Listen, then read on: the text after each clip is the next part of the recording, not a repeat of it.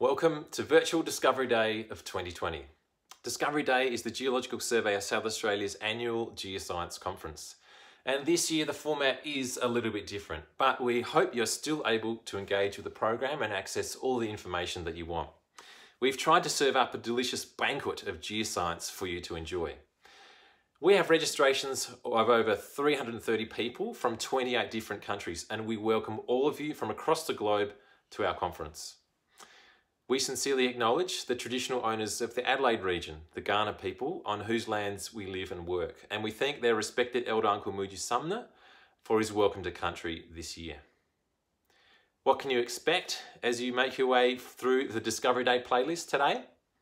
Well, we have talks by our own geoscience specialists, Kate Robertson and Tom Wise, and they will give you a flavour of what we've been doing to defrost the Delamerian.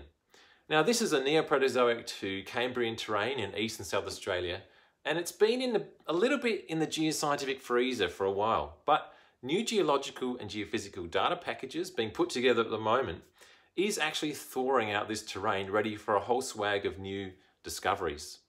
And speaking of new discoveries, I've also got to talk for you about nickel potential in the Western Gawler Craton.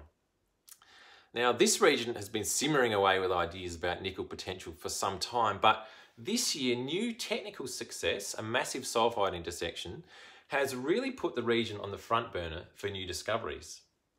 Plus, our GSSA director, Rowan Cobcroft, gives you a taste for GSSA activities across the geoscience, across the communications, data, collaborations, and so on.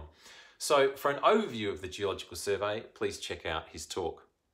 And if you're into the application of machine learning and big data to geoscience problems, especially around mineral exploration, you've come to the right place. There is a discussion between our own GSSA team and Holly Bridgewater from Unearthed. And that's all around the Gawler Challenge being held this year, that was held this year, and the next stages for this cutting edge confluence of data and geoscience. Mineral exploration is a valued part of the economic mix for South Australia and the state government's Accelerated Discovery Initiative, or ADI, is something that all explorers and researchers will want to know more about.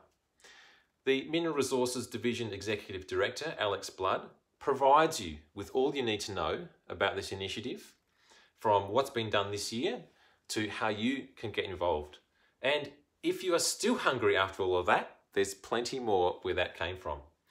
We've also put together a smorgasbord of discussions on aspects of recent research and outcomes from GSSA and our collaborative partners, including the MinEx CRC, uh, CSIRO, as well as Geoscience Australia. From isotopes to databases, from minerals to portals. There's a whole lot of work going on at the moment, and these conversations will hopefully give you some insight into that work and also to the people behind some of those programs.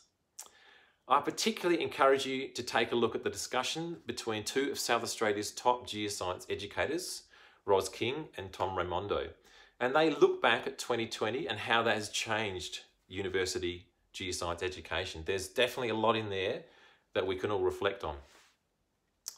All in all, I would say it's a very balanced geoscience meal for you, full of vitamins and hopefully lots of minerals to build your geoscientific muscle. So I encourage you, please take some time, settle in, grab a coffee or tea, and just make your way through this offering. Please get in touch via all the links below, share the material and comment away. We, we can't wait to hear from you. Thank you very much for joining Virtual Discovery Day 2020. See you around soon.